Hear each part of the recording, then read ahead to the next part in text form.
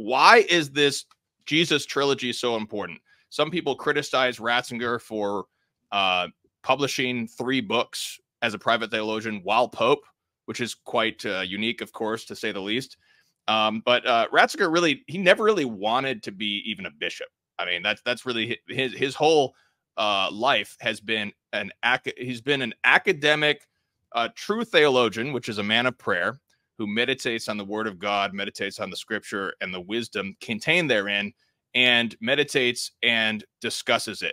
And that's what he always wanted to do and wanted to be. He was forced into the position of a bishop.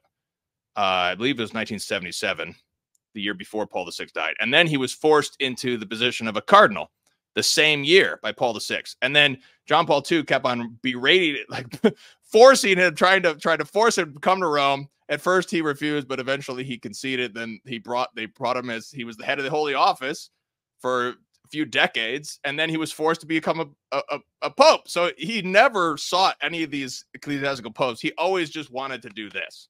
That was kind of like his heart and soul, as far as I I can tell. And then finally, when he was, uh, you know, it's, it's to me, it's not even surprising that he resigned because it's like he never wanted to do any of this. All he wanted to do was be a priest theologian. And then he's like, "Well, I, I guess I'm the boss now, so right. I can just yeah. resign." yeah, who's going to stop so, me?